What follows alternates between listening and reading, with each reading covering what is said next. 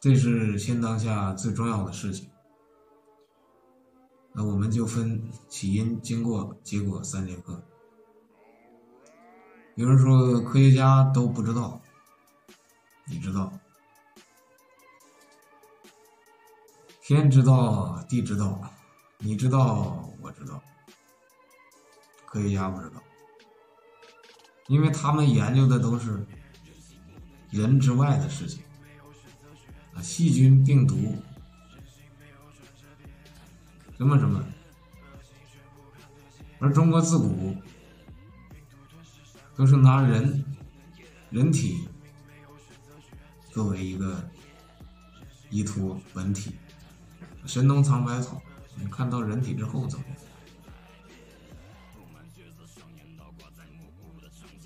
李时珍也是拿人，就是慢慢的从小开始做实验。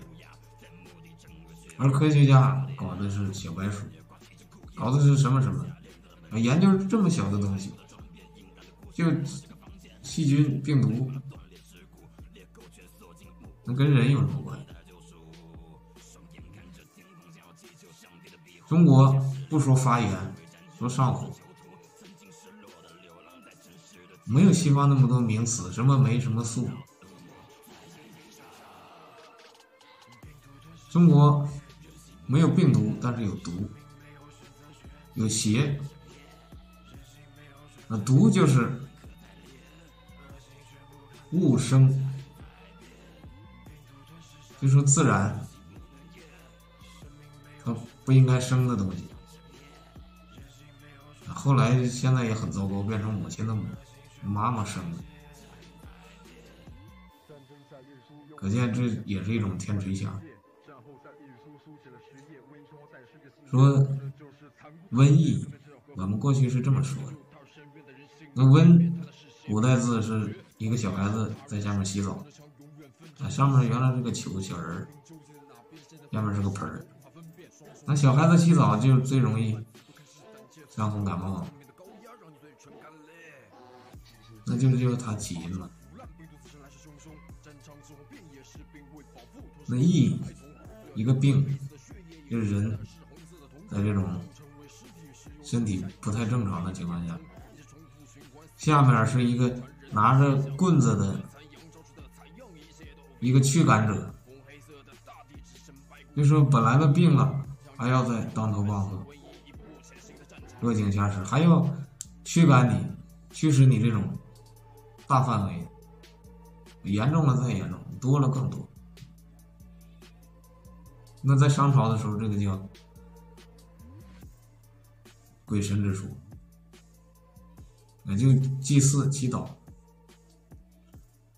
占卜，也过去了。很奇怪，那现在啊，就把这些病因赖到什么蝙蝠身上，啊，什么水獭，啊，人家什么。狂犬，那个这个狗，什么禽流感鸟，什么植物，反正就不是人。